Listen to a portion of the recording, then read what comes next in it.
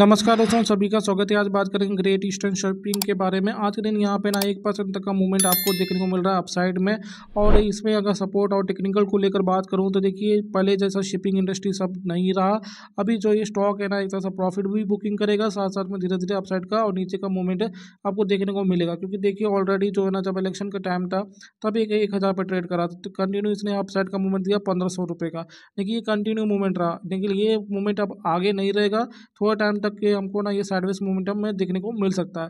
फ़िलहाल आपका फोकस होना चाहिए, वो है चौदह सौ रुपया। जी हाँ दोस्तों, चौदह सौ और नीचे की तरफ़ है तेरह सौ रुपया। जहाँ से इसने ना रेस्पेक्ट कर अपसाइड जाने की कोशिश कर रहा है। अगर ये चौदह सौ रुपये का लेवल को ब्रेक कर अपसाइड के चला जाता है तो यहाँ पर ना स्ट्रॉन्ग मूवमेंट बनेगा और जो कि पहला टारगेट रहेगा पंद्रह सौ, दूसरा टारगेट जो रहेगा सोलह सौ रुपये तक अपसाइड देखने को मिल सकता है। और अगर ये लेवल यहाँ से, जैसे आज के दिन देख रहे हो, यहाँ पर सिर्फ़ एक परसेंट का मूवमेंट बना कल कितना था? ज़ीरो पॉइंट फाइव परसेंट का था।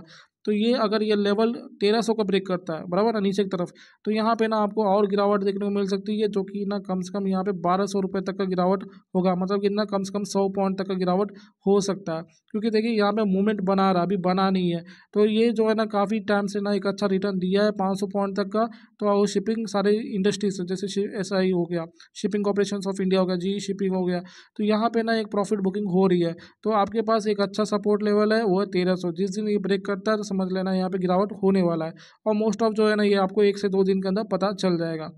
तो सारे कंडीशंस मैंने आपको बता दिए हैं, चैनल पहली बार आए तो सब्सक्राइब ज़रूर करेगा बाईस कंडीशन ही है जय